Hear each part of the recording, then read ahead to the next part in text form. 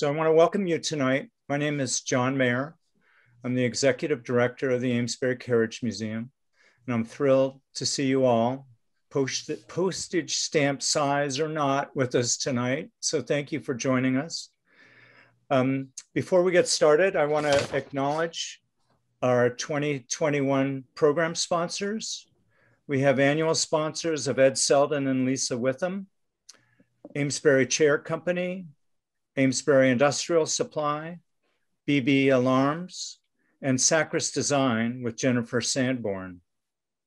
And then our program sponsors are Wayne Barbaro, Mike Harold and Leah Cabine, Peter and Patty Hoyt, and Tom Pendergast. And actually, I am so grateful to our sponsors for all their help. They, they really help have enabled us to power through the pandemic, continue to do the things that we're doing. So um, thank you, program sponsors, for all your support. Um, tonight, we are thrilled to be able to offer the Bailey Lecture. This is a program that we began in 2016. We named it after the Bailey family as a way to acknowledge the long history of SR Bailey Company and the Bailey family and, the, and their work in the Amesbury community. And each year that we've offered this program, we've welcomed a thought leader, an expert, a specialist, somebody skilled in urban planning, historic preservation, or other topics that shine lights on things that are new to us, but also help our community to learn a little bit more about um, the world around them. So tonight, um, I am very pleased to introduce Nate Robertson. Nate is um, Community and Economic Development Planner with the Merrimack Valley Planning Commission. And I learned about Nate because of his work in cultural mapping. And it just seemed highly appropriate to invite Nate to be part of this program in the midst of the pandemic, where we're learning more and more about those things that are important to us and those things that help make a community what it is. Oh, and, I, and before, oh, and here's Nate. Nate, I want to just, um, for everyone on the Zoom, mm-hmm. you know, we will mute all the microphones. Um, if you like, you should um, go to speaker view because I think that'll allow you to enjoy Nate and his slides a little bit better. Um, we're gonna let Nate run his program um, and then we'll take questions by chat. And then at the end, after we've answered chat questions, we often go live and just allow for a nice social interaction. So bear with us. If there's something that you have a question about, type it in the chat and we'll get to it as soon as we can. And the other thing I wanted to point out, and I think Nate, you're going to do this anyway. Um, Nate has a really um, fun, interactive, and I think you just put the uh, website down on the bottom of the chat. So if everyone would look, um, and if you can open a new window and go to that website, Nate is going to guide us, and I think you'll find that that will make this program even that much more fun but I'm not going to spill the beans. Nate Robertson, it's a thrill to have you with us tonight. Thank you and welcome to our, our Zoom program. Thank you so much, John. And uh, thanks for all the sponsors and everybody that, that helps contribute to make this, uh, make this lecture series possible. Uh, I was really honored to be asked to come here and share a little bit about what MVPC does and to share a little bit about our cultural uh, mapping exercise and the importance of cultural planning and cultural events and spaces and institutions uh, in general the importance of culture in our the everyday fabric of, our communities. So uh, happy to to kind of jump into to my presentation. And uh, uh john was right. I'm going to try to make this as interactive as possible. I'm a big believer in participatory planning um, and I try to incorporate that praxis in, into my presentations a little bit as well. Um, I was never a great student. I never never thrived when I was just being talked to. Um, so I, I, try to make this as uh, back and forth as as possible. So I put a link in the chat.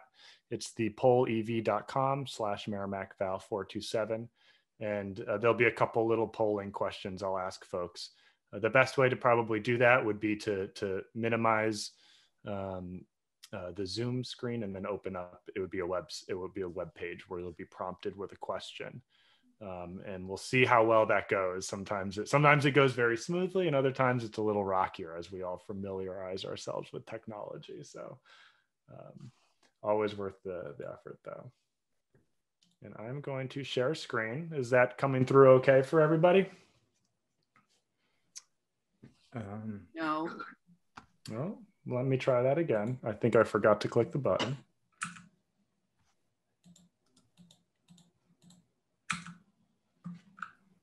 No, still no.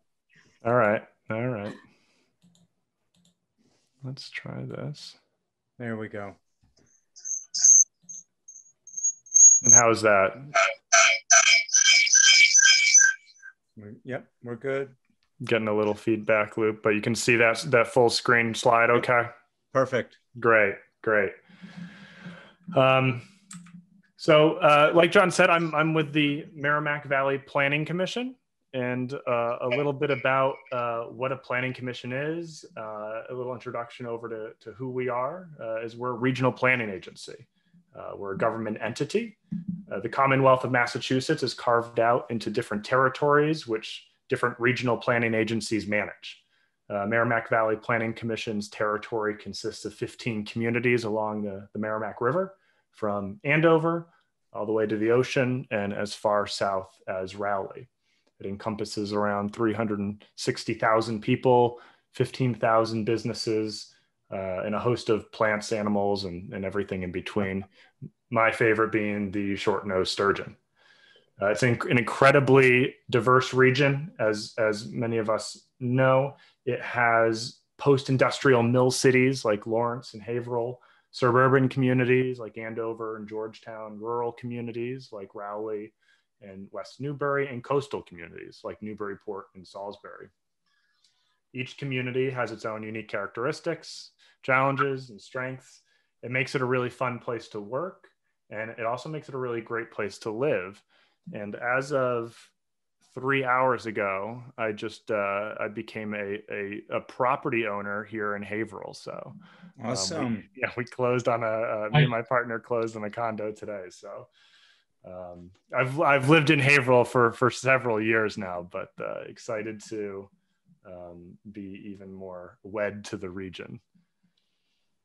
Um, the region region regional planning agencies were created is because Massachusetts is sort of unique in how strong municipalities Guys, govern. Dave Robertson is from the Merrimack Valley Planning. I'm getting a little feedback. I think yeah. someone's not planning with All good? Yep, I just okay. muted. Okay. It happens. It happens. Um, so municipalities in Massachusetts uh, are really strong. They govern really. Uh, they have a lot of power in how they govern. They govern independent of any sort of county-wide entity or regional government. And Massachusetts is home to hundreds of oftentimes very tiny municipalities, each with their own management systems and governing bodies. And this can present a lot of challenges when dealing with issues which do not stop at municipal borders whether it's economic issues, housing issues, water infrastructure, environmental concerns. Um, we know that uh, we need to work together in order to tackle a lot of these larger issues. So at the end of the day, MVPC's mission is to promote the orderly growth and good stewardship of the region. And we do that by convening municipalities, aligning resources, aligning visions, and coming up with common solutions to common problems. We have four, four main program areas um, transportation planning, environmental planning, community and economic development planning, and geographic information systems and information technology services. Essentially, what these allow us to do is really help our municipalities in, in all areas um, and help them operate using 21st century technology. So, who am I? Um, well, the question I ask myself every morning now. Uh, my name is Nate Robertson, and I am currently uh, work in the community and economic de- development uh, as a community and economic development planner in, uh, for MVPC. Prior to that, I worked for a private public partnership focused on economic development in the city of Haverhill, which included everything from housing to business retention. And prior to that, I worked in public health on Cape Cod, where I focused on infectious disease and overdose prevention. And what this has given me is, is kind of a, a comprehensive view of how all issues are really interconnected and an understanding of, of the holistic approach we need to take when we talk about building desirable, resilient, and thriving communities. Community and economic development often don't mean any but anything to anybody outside of uh, the planning field or, or, or, government. So essentially, what I do is is uh, business retention and recruitment, sort of like industry specific, manufacturing in particular in this region, housing and land use planning, arts and culture programming, and downtown revitalization strategy. My passion is really working in small post industrial mill cities but at the end of the day, my job is the same in every municipality, which is to help make that community thrive. I like to think of my job and I like to think of community planning in general as uh, analogous to gardening. We just make sure that places have the right mixture of ingredients to, to grow and flourish. So, what is a community? It's going to be a word I'm going to be throwing around a lot tonight. Um, so, figured we'd come to a common kind of definition here. Uh, community is commonly understood as a social unit with common norms, uh, religion, values, custom, or identity. It can be as small as a handful of people or as large as an entire nation. When we think about our own selves, we know that we exist within multiple communities simultaneously. They can overlap, they can be linked familially or, or self identifying. Communities may share a, a common space or a shared geography, as large as New England or as small as a particular neighborhood communities don't always have to share a physical space. For instance, you know, online communities. Uh, here we are all on Zoom, so that's a pretty good example of a of a, a non-physical uh, community. However, for this talk, we'll be really focused on our built environments that host communities like like neighborhoods and towns and, and cities. All right, so this is going to be the first big test of our uh, of our crowdsourcing here. Uh, I want to focus on what I want to ask everybody here on, on what makes a thriving community. So this will be interactive. Your answers are going to populate a word cloud, which will be live. Um, and um, so in, in your minds, uh, do a little bit of thinking about what makes a thriving community. Just fire out some, you can make as many entries as you want. Uh, coffee shops, downtowns, parks, um, and that will all populate a word cloud. And I'm going to uh, open up that word cloud now. So I'm going to stop sharing for a second. And if you go to that link in the chat, pollev.com slash Merrimack Val 427, you should um, be prompted with a um, with a question, that very question.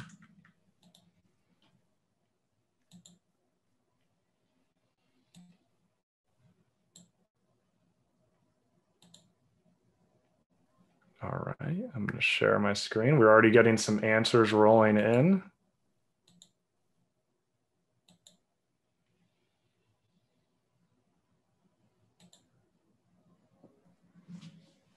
Can folks see that, that word cloud okay? Very cool. Yeah.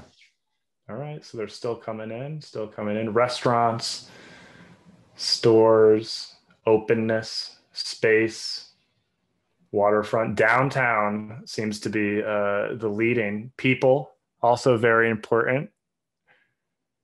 Events, diversity, growth. This is great.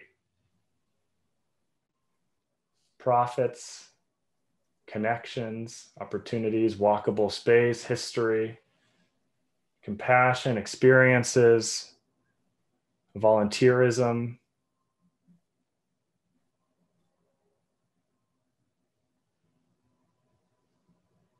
Schools, restaurants, politics, for better or worse,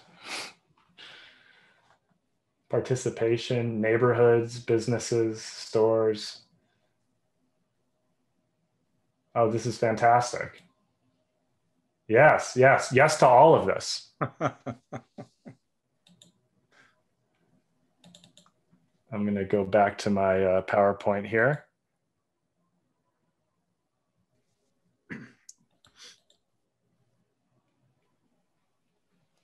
Um,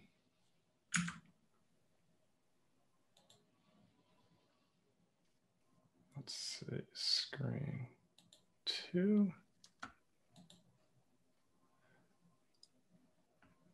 So there was a lot of good stuff in here. And can folks see that the, the question prompt once again?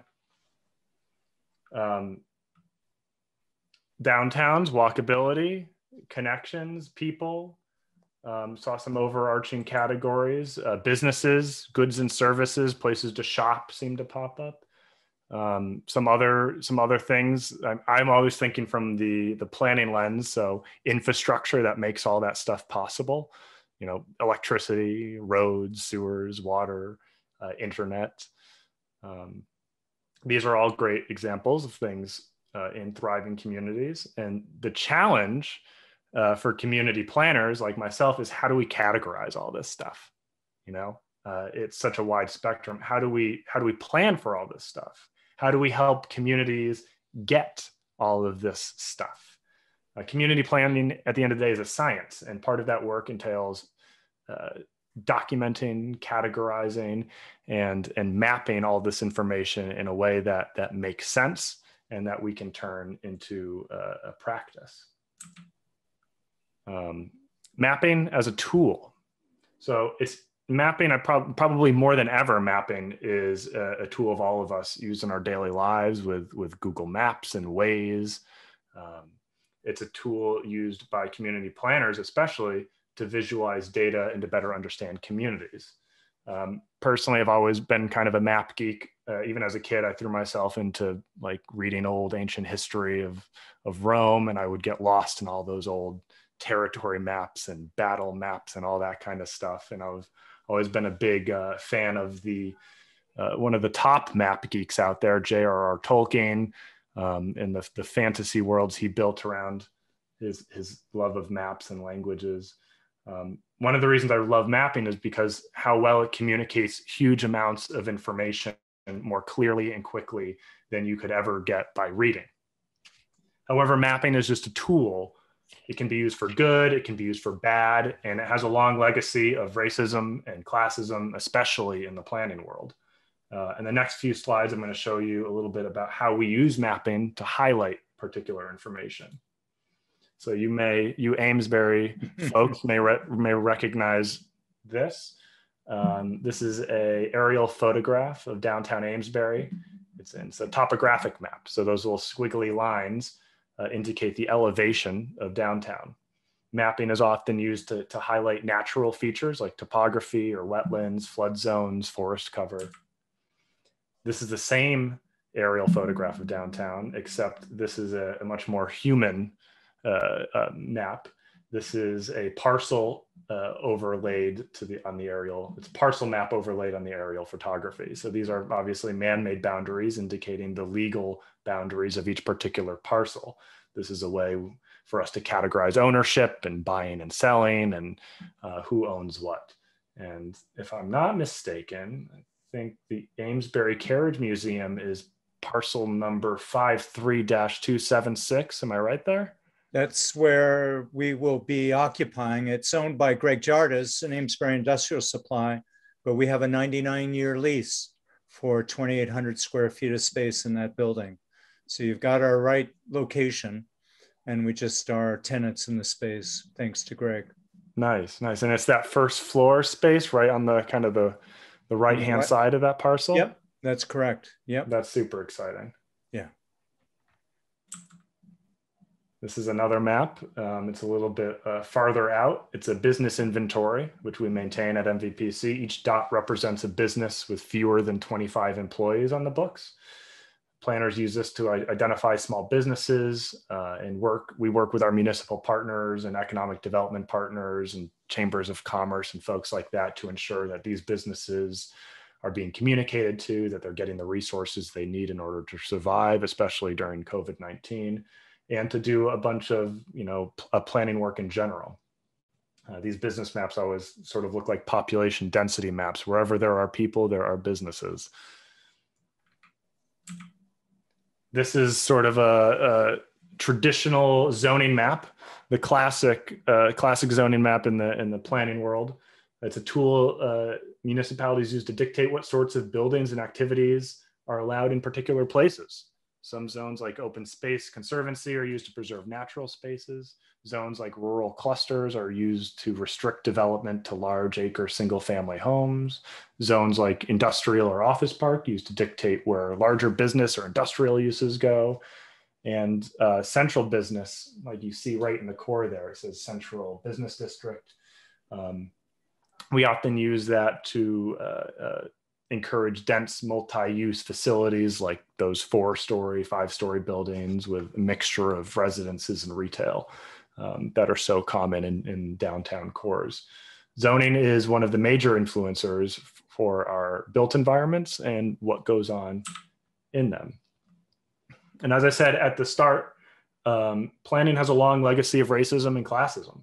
Mapping is a tool uh, and it's one that we often mapping is a tool and, and we often use boundaries and maps to cut up the world into pieces that uphold or reinforce oppressive power dynamics.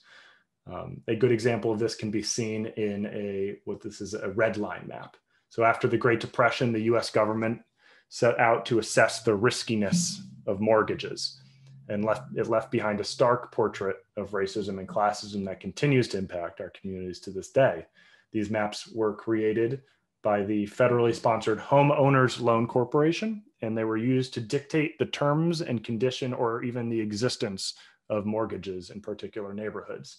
So this isn't Amesbury. This is actually a redlined map uh, in Haverhill, probably from the 1930s, I want to say. I don't have a specific date for it, but this is right down the river, and you can see the remarks for neighborhood D2 that's highlighted. Um, it's marked in red due to the presence of immigrants, um, or as they say in this, the, the foreign element. This designation would be used to uh, not give loans to people or on properties in neighborhoods, in the red neighborhoods. The presence of Black people would almost always automatically trigger a red zone, shutting off opportunity for investment or home ownership opportunities. Uh, redlining, it is often credited with vastly exacerbating inequities along racial and class lines. And it really goes to show you that mapping is a tool and boundaries can be a knife that we use to cut up the world in really damaging ways. When it comes to cultural mapping, who decides what gets mapped matters. Mapping exercises are often a reflection of the people that conduct them. If it's only people in positions of power, or people in particular circles, um, maps and data will skew accordingly. So it's vital that any data collection, any mapping exercises, any planning be as participatory and inclusive as possible. So where's culture in all this? Um, based on what folks contributed to the question of kind of what makes a thriving community, we know that culture, that, that cultural things are really important to have a flourishing community? How does it get measured? How does it get mapped? How is it incorporated? Culture is one of these tricky things. It can be a little intangible. It's sort of a I always call it the connective tissue that that binds all these different assets together. Um, these are great questions and ones that community planners have often struggled with answering. But let's kind of start by defining what is culture. Culture is a loaded world, a word it's often talked about as we look back at like past great historical cultures and the ancient Egyptians or Greeks. For many, the very word conjures up uh, images of old royal balls or expensive museum galleries, but these are all misconceptions. Culture is happening all around us constantly. It's simply community expression, celebrations, family gatherings, stories, music, shared values, uh, beliefs, art, activities, gathering places, events, food, which is my personal favorite. the list goes on and on. Culture exists in the smallest of things and in the biggest and grandest of things. Culture is enjoying an afternoon walk in the park, getting an empanada at the bodega, and it's also a grand 19th century ball with Austro-Hungarian royalty. Demystifying what gets called culture or what qualifies as culture is important work for us all to engage in. Culture isn't an exclusive club or something only relegated to the wealthy. It's something that we all co create daily. Culture is for everyone. So, on that note, now that we've kind of defined culture and hopefully demystified what kind of qualifies as culture, I've got another question, which is the next on our list, which is what are some things that you really love to do in your community? Um, what are some things that this doesn't, or, or what are some things that you used to love doing in a community or in a past community? It doesn't have to be a, a current one. It could be a fond memory, something you have uh, memory fo- uh, remember fondly about your hometown or something that you do in your daily life today. And I'm going to go bring up that same link. Let me just turn it on here.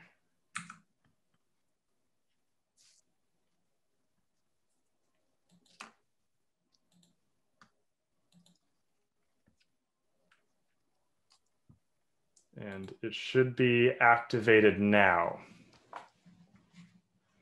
So if you go right back to that same link, it should prompt you now with a different question, which is just some, what are some things that, that you enjoy doing in your community?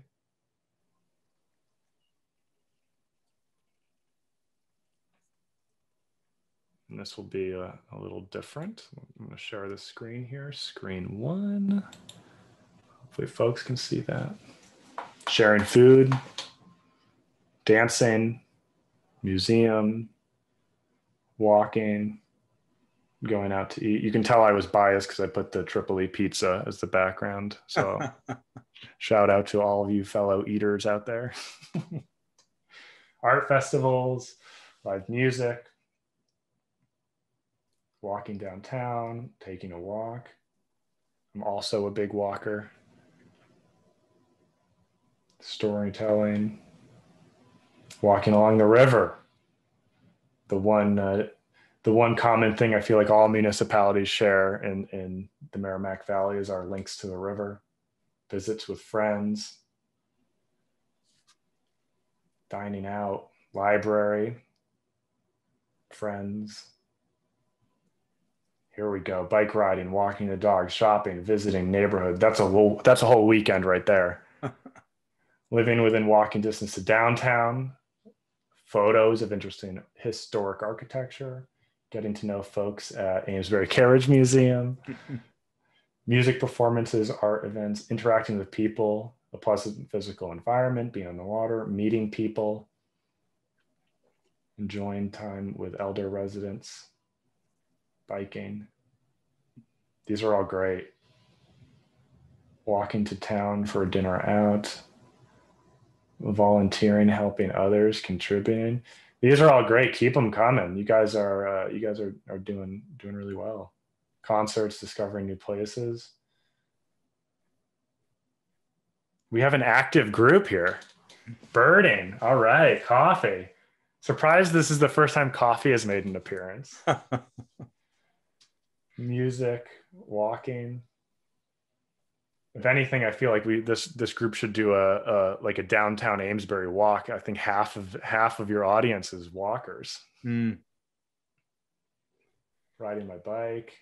There can be a bike contingent too. Meeting friends. These are all these are all great. I'm gonna jump back nature trails that's another one i'm kind of surprised i haven't seen uh, uh, like parks forests i guess that kind of goes with walking though. Go to the movies wine with neighbors bird watching showing off for downtown. The waterfall. I love that. Volunteering. I don't want to st- i don't want to stop sharing but i'm going to. I could i could look at this stuff all day. Going to the beach? Yeah how the beach of course. How could we forget? All right. Meeting new people. They're still rolling in. And let me go back to the share screen and it should be screen two. All right. Does that, that look good on these transitions? Yep. Okay, excellent. Um, thanks everybody for contributing. Yeah, those were all great examples. And, and when I ask people that question, you know, a lot of it, at least for me, I feel like these are all kind of like deeply personal in a way. These are ways that we spend our time, ways that we connect with our surroundings outside of work and outside of the the nine to five. Um, they're all important in their own way, and they show us the things that we value in our communities. Um, experiences, activities, memories, um, all of this stuff can be really difficult to capture in a way that is easy to communicate. It's not like um, a sewer line that you can easily put on a map and say, well, that's where it is. Um, but if anything, these are just as important as a sewer line or more important mm. um, as they're deeply embedded into the very fabric of the community that we all live in. Um, it's these little important things that as community planners, it's really important for us to capture perspectives on. Um, they should be identified and represented during any planning activity. Um, crowdsourcing information, talking to communities, I find is always the best way to find out what people value about a particular place or a particular neighborhood. And whenever we're doing any sort of planning exercises, whether a neighborhood is getting redeveloped or there's new buildings or businesses coming into a downtown or um, or uh, infrastructure upgrades, if you can't do any of those well unless you have a good handle of what people value in that space.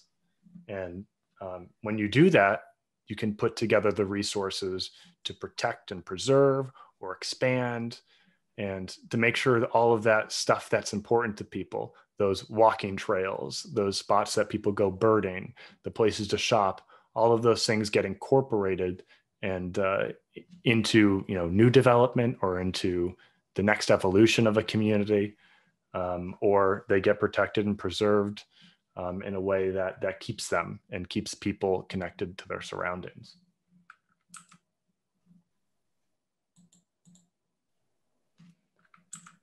there we go so mapping culture the missing link all of these resources, events, places that have been highlighted um, can and should be represented as community assets. As I said, just as important as housing is, just as important as infrastructure is or, or businesses. But historically, arts and culture are not considered equal partners uh, to any you know metaphorical table. They're not invited. Um, they're often seen as byproducts.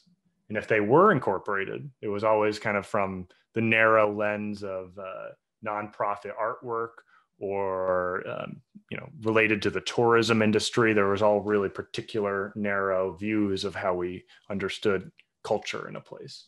But today cultural planning is understood a little more broadly as addressing community priorities uh, and putting the voices of regular people at the table as a planner i collect and synthesize data about transportation and businesses and infrastructure and schools and housing and demographics and wages and all the list goes on and on.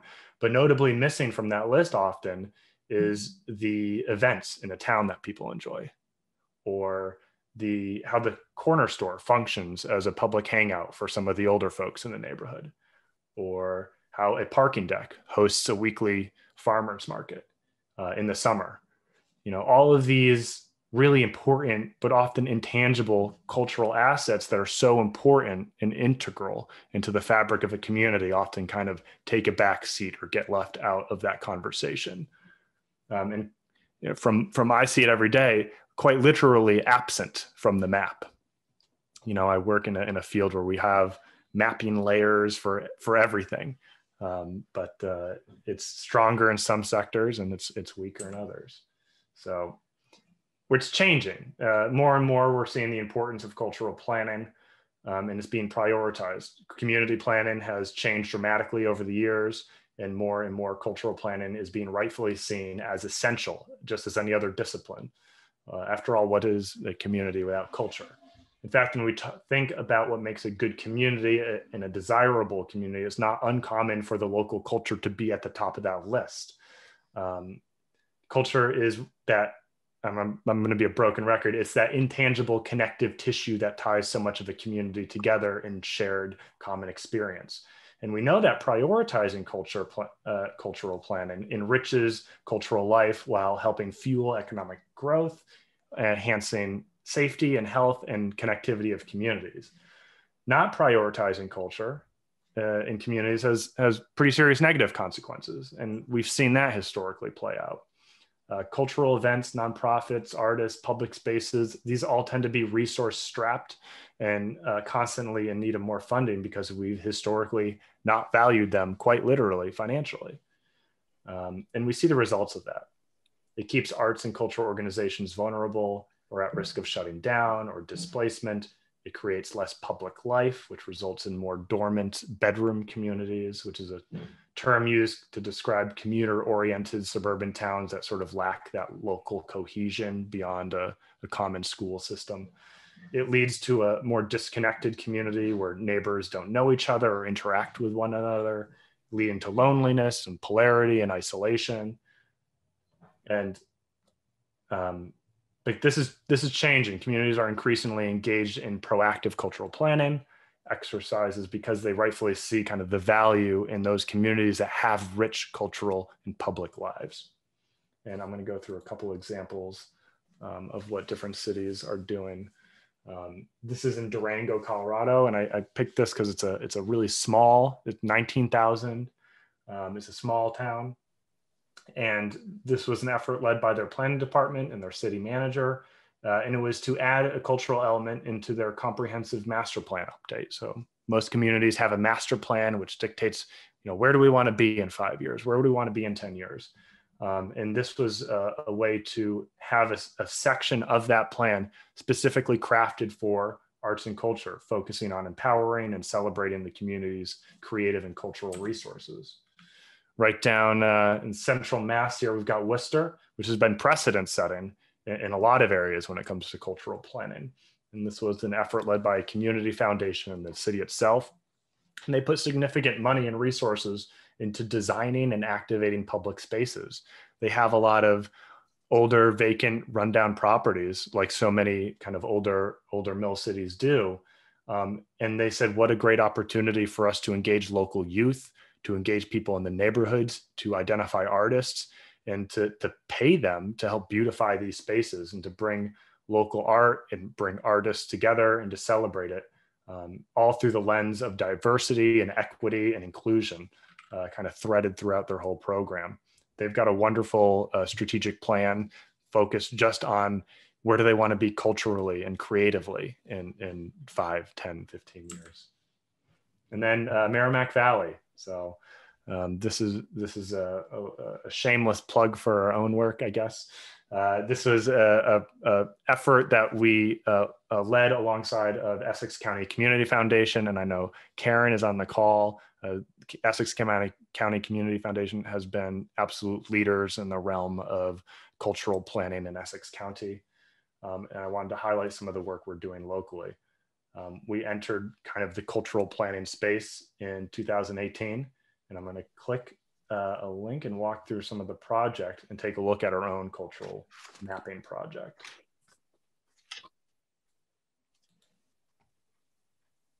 And how am I doing on time here? Oh, this is, see, this is the problem. Once I get going. I think we're good, Nate. I, you know, maybe uh, 10 more minutes and then we can get some questions in. Yeah, absolutely. I think uh, this is fabulous. I, I, it's, it's great to see this. Great, great. So this was, um, again, this is a, a, large project that was started in conjunction with Essex County Community Foundation starting in 2018. A little bit on the genesis of the project. Um, in 2018, Essex County Community Foundation launched its Creative County Initiative uh, in partnership with the Barr Foundation, the mission being to elevate arts and culture in Essex County. The goal has been to work with local communities to learn how to infuse culture cultural development into community development with the belief that cultural action plans enrich cultural life while helping fuel economic growth um, and health and safety and connectivity.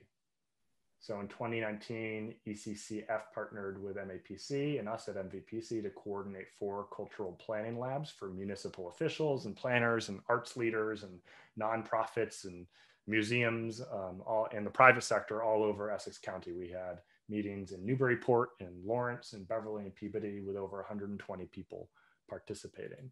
And there were some clear next steps that kind of came out of that, that planning process and that visioning process.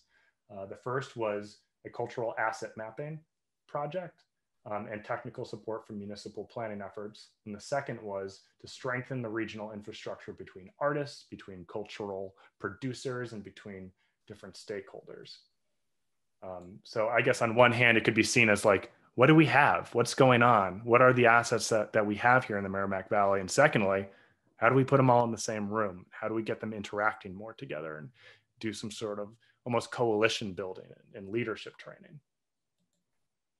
So we launched in 2019 the Merrimack Valley Cultural Mapping Project. We had over 90 people at our kickoff event, and um, then COVID-19 happened.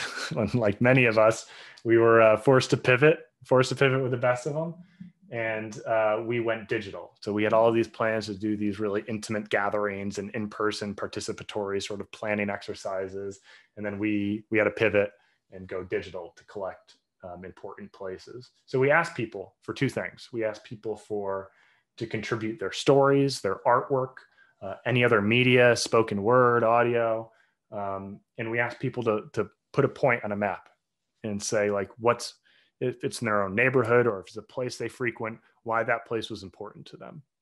So it was a way to capture both art um, and it was also a credit to, to ECCF. They, they actually paid artists during this time. I know COVID impa- no, COVID-19 really impacted the arts community. So it was a way to, to help artists, um, it, but it was also a way to collect them and have them working together.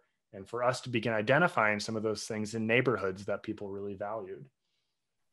Um, the art was assembled into an expression book. I won't go through the whole thing, but the entire thing is in our uh, is in our web page, and I would definitely encourage you to check it out there. Each town has its the town's kind of carved up into chapters. There's a bunch of awesome writing about the Merrimack Valley.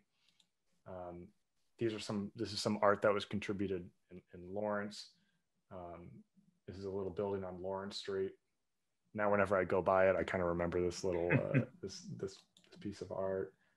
Um, and it was just kind of people's thoughts about what their neighborhoods meant to them and their own relationships to to home. Um, it's a really it's a it's a cool piece. And then the second piece of it was the mapping. So all this all this talk on mapping, we asked people, you know, to to put a dot on the map. And like I said, before i'm i'm really particular when it comes to like participatory stuff. Um, we could have come in and gotten a list of all the museums and gotten a list of all the statues and gotten a list of all the, like the historical societies and dropped them on a map and said you know we're done. Here are all the important places. But as we also know that's not really a good reflection or an accurate reflection of what people value um, so the best way to get that information is right from the source. So, so we ask people to, to drop a pin and, and have them tell us. And if, if the historical statue made it on the list or, or not, you know, that was for, it was for the, was a, the people to decide. This is a sort of democratizing uh, hmm. planning mm-hmm. effort. So a couple, I'll walk you through a couple things that were people picked out. Uh, one was the Methuen Spicket River Falls, which is a little footbridge in Methuen that's got um, rotating sort of art pieces on it. Um, actually, recently they just they just lit up the whole waterfall of the Spicket River. Um, I get, they were must have been inspired by Amesbury, and they went back in Methuen and they've done a similar thing. So they've got an equally beautiful, uh, kind of a beautifying effort they're doing around the Spicket River. Um, this was that piece on Lawrence Street that really stood out for me.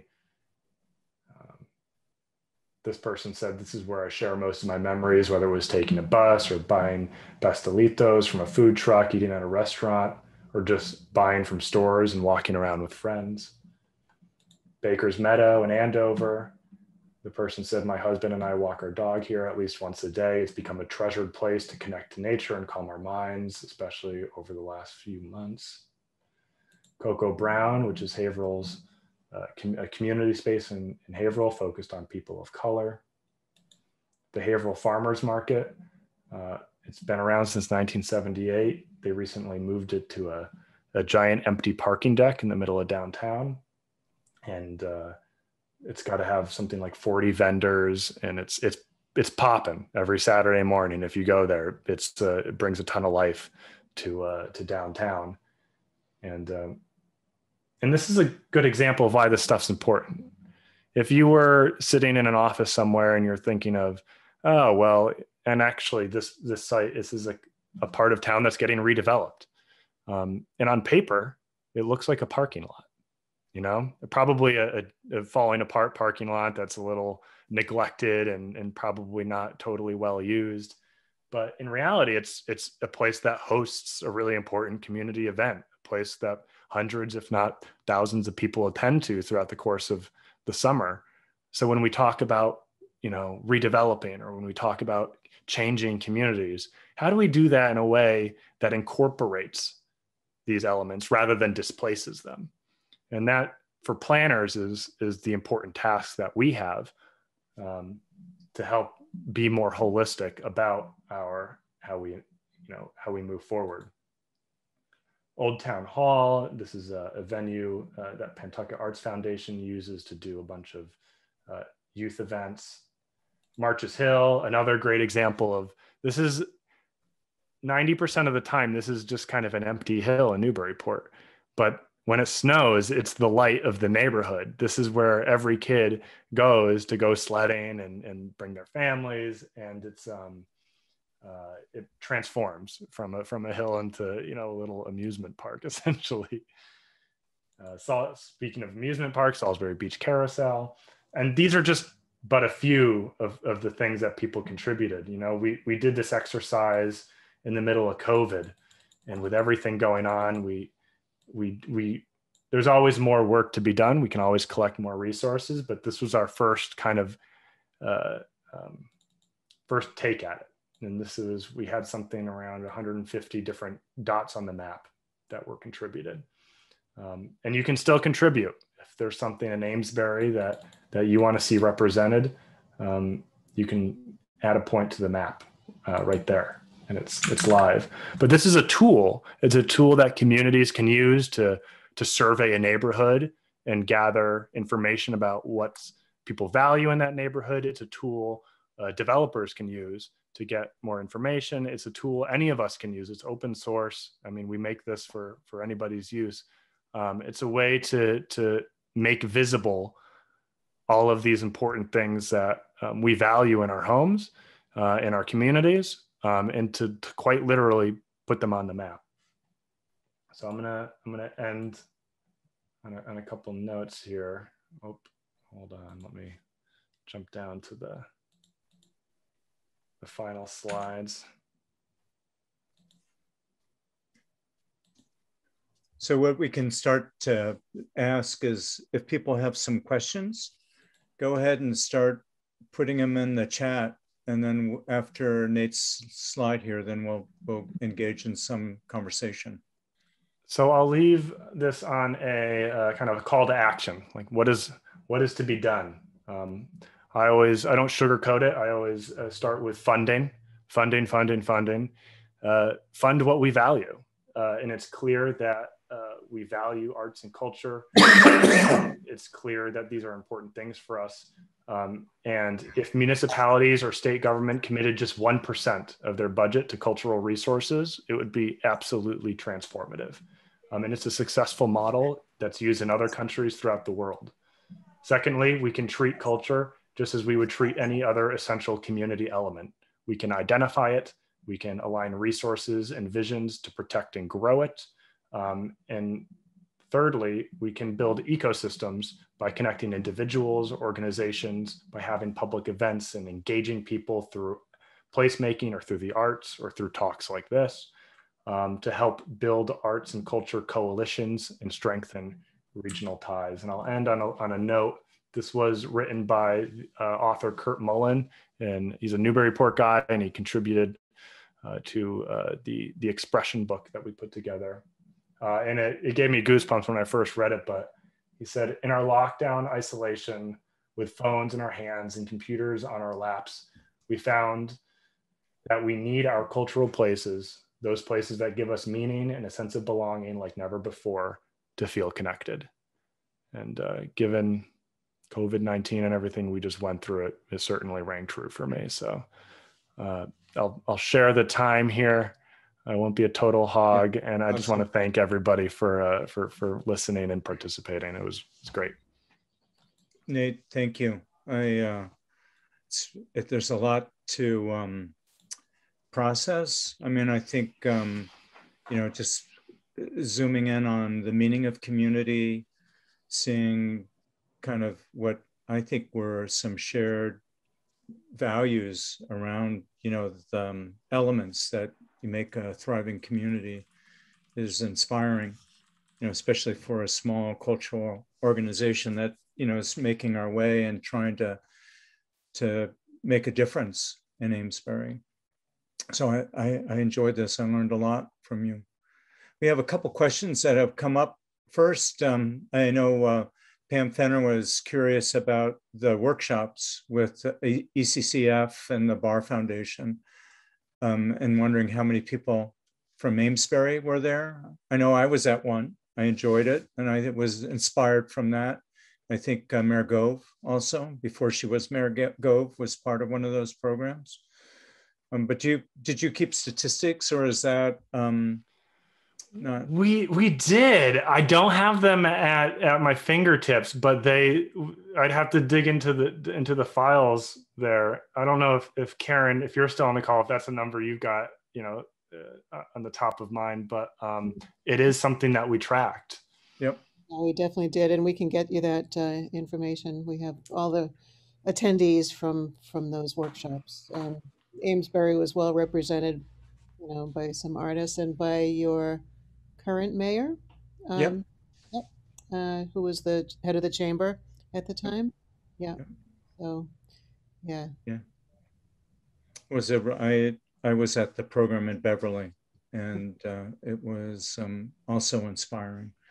I mean, I think again for a small nonprofit organization to see, you know, the um, trajectory of some of these projects and the difference it makes in communities is inspiring. Um, you, you, know, Nate, from looking at um, other places where there are active um, community development projects that are culturally focused, you know, are you um, feeling like the Merrimack Valley is in the middle of the curve, ahead of the curve, way behind the curve? What are the things that you think need to happen to uh, move us all along forward?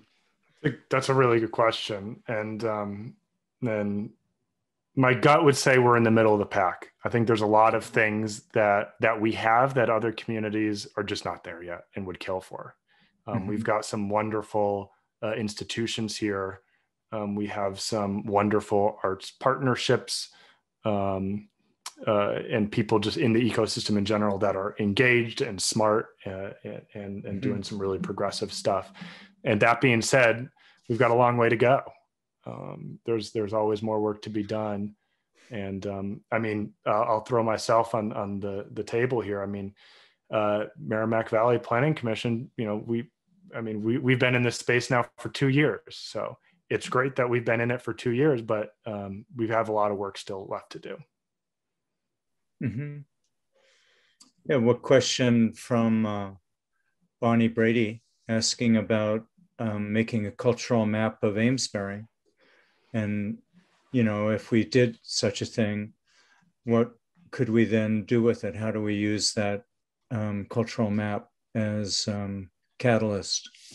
Right, right. So, so one of the reasons we wanted to start kind of our planning exercises with with a cultural map is because it's a great way to engage people. Um, everybody cares about things in their community, even if it's as simple as oh, I like going for you know a walk.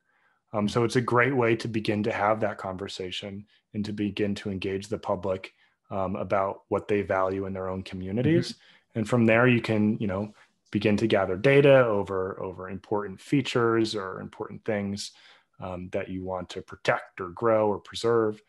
Um, and uh, once you once you have people engaged and folks uh, you know uh, and some some assets identified putting together a plan um, where do you want to be in five years mm. how do you mm-hmm. want to grow uh, what are you missing that you want to see what are you losing that maybe you're at risk of losing mm-hmm. Um, mm-hmm. kind of analyzing your own strengths weaknesses and and kind of trajectory uh, you know it's it's hard to do that in a vacuum. So that's why I always encourage. Uh, so I, I I'm a fan of, of, doing this sort of mapping work and engaging people first, and then doing the and then doing the planning second. Your um, the cultural um, focal points, the mapping program is still live on the um, Merrimack Valley Planning Commission website. It is. I've gone and I've added a couple. Um, so, um, you know, for those who are interested, you know, we could share that link. I think I did a newsletter piece on a Saturday, and in our e-news included a link to that um, resource. We'll be sending out an evaluation for the program, and uh, maybe Bonnie, you and I can make sure we put that up. There it is. Nate's already added it, but we'll make sure that that gets out, and uh, our Amesbury community can flood Merrimack Valley Planning Commission with the um, awesome cultural resources that are in our, our community. Please do. Yeah, this was, you know, we we we tried to do the whole region, which is uh, it's a you know it was a lot. Um, so uh, I thought it like uh, it was a great start, but there is it is far far from complete. Um, mm-hmm. Uh, so to really do something that's focused really intensely on a downtown or a neighborhood, I think yeah. you'd get a lot of value out of something like that. Yeah. Um, I think we'll take one more here. And then um, what I'll ask Meryl is that, you know, we can unspotlight Nate and then we'll have our, you know, community conversation for, you know, another 10 minutes or so.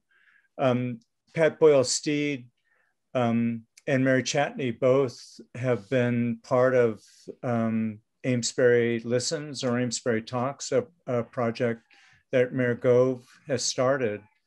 And, you know, I think this might be part of, you know, that process that you're describing, Nate, where there's uh, inventory that's being developed and people have an opportunity to input, you know, the things that are important. And hopefully that'll lead to a master plan where those elements are what you know get um, valued a little bit more. Um, all right, so um, there's one last question from Susan Han from Rockport and connected to Amesbury through Lowell's Boat Shop. What organizations do you normally work within towns, Nate? You know, who who is your um, clientele, if you will? Who who do you who brings you in? So uh, really, our, our clients are, are the municipalities themselves. So mm-hmm. we work with their planning staff or DPW department or uh, the mayors and managers um, at the executive level themselves. So that's that's how we um, those are our, our, clients, so to speak. But we're we're always coalition focused. Mm-hmm. Um, we you know they they may be the people who bring us into the conversation, but we we thrive in bringing other partners to the table, whether that's foundations or nonprofits or, or whoever the partners may be. Um, and I'm going to guess, Nate, if people had questions for you, they can find you on the Merrimack Valley Planning Commission website. Yeah, absolutely. And I'll put my my email in the chat. Um, okay. I'm always happy to to to talk. Um, um, or you can go to, to our website mvpc.org and yep. see uh, what else we what else we do um, and then i'm going to say thank you nate this was um, i wasn't exactly sure where we were going to land with this but i think we landed in a great place i um, think you know having a sense of the meaning of community kind of looking at the big list of um, you know elements that we all hold dear, and then thinking about how those things can be part of the work that we do to make a vibrant uh, town it's really great. So thank you for being willing to be on our Bailey lecture. And thank you everybody for being, you know, with the program tonight. And um, Meryl, if you want to let the fun begin, you know, we can unmute people and I'm willing to hang for a bit and we'll just continue our conversation. And if um, people have questions for Nate. One thing, uh, thank you, John, and thank you everybody for your participation. I genuinely love seeing how much people love their own communities. It's, it's yeah. you know, it's what I do for a living, but but it's the that's the best part of it. And um, I did want to quickly plug that um, ECCF, our partners in our cultural planning uh, uh, project, um, they uh, have agreed to sort of fund cultural planning consultations in communities. So oh, this wow. would be um, at, uh, correct me if I'm wrong, Karen, but at no cost or subsidized cost to communities. Um, they've got a great team um, over there at ECCF, but they are putting more resources into further growing um, uh, uh, the arts and culture um, in the Essex County, uh, of which Amesbury is, is one of them. So uh, Karen put the, the, put the link in the chat there to learn a little bit more information, but it's mm. great. Mm. It's a great resource. Mm-hmm. Awesome. And with that, I'll, I'll end. Yeah. Um, yeah, thank you. Um, I see some new faces and some friendly ones. Um, did we just lose Greg Calling, our architect? There he is. Greg, you've been part of many of these programs. So, um, you know, and maybe this is like old school for, for your, someone with architecture training, but um, it's happy to feel validated and reinforced for a lot of the things we're working on with the History Center. Actually, something that I'm not, I haven't been familiar with cultural planning as a planning tool. Um, it's, I'm actually on a planning commission here in, in the small town of Strafford, Vermont, and there's no piece of the town plan that we're working on that addresses cultural resources. So this has been eye-opening for me. And I've always been involved with cultural facilities. I'm helping with, with the project up here for a, um, a historical society. So, so you got some fuel for the fire there. People are going to wonder what happened to Greg Calling when you come to the next meeting. Stir things up. Yeah, it's awesome. So but I've always been loved being volunteering and being involved in, in um, with community organizations that that have a public function and mm-hmm. um, celebrate the history and diversity of communities. So, yeah, and that's what the Carriage Museum is doing, the IHC, and that's why everyone's so excited about it. I see Pam Fenner has her hand up. I think that means something. I, I thought that's what we do is raise our hand. Um, I was going to tell um, Nate that in addition to um, John and the Amesbury um, Carriage Museum, um, there's the Amesbury Cultural um, Council, which does so much within our, our community and we have a thriving artist community. But uh, along with the Carriage Museum is Amesbury Treasures. And I don't know if you're familiar with that, but that's a loose organization that's been formed about 20, 23 years ago of those of us uh, about eight or nine um, historical museums or locations within the town and I just wanted to point that out for you to, to uh, have that as part of your cultural yeah. mapping. Uh, we, it's a loose organization. Um, we haven't had meetings because of Zoom, but um, our individual institutions, whether it's the Whittier Home or the Carriage Museum or Lowell's, um, tend to sponsor various events here in town. But it was a way to unify um, uh, and coordinate some of our activities um, for the community. We're, um, Pam, I'll mention um, we're actually um, scheduling um, open house at the History Center before we're even open, but we'll reach out to the Amesbury Treasures because we see, you know, that venue as being a place that, you know, maybe we can inject a little more activity within that, that group. Um, we did that, I think, five years ago, and we'll, we'll do it again. So I wanted to ask Karen, Karen Ristuben, thank you for being part of this. Sure. Um, and you know, I, I, I am so thrilled to see that Essex County Community Foundation is helping with that sort of cultural audit. It's um, excellent. Um, you must be thrilled to see, you know, the um, follow up from some of the creative county work that Mhm. started. Um, and I'm sure you're also um, eager for the COVID restrictions to begin to slip away so we can get back to some of that work. Well, that is true. We haven't stopped though, and a lot of what we've been doing is supporting the ability of people to do their online and virtual uh, offerings.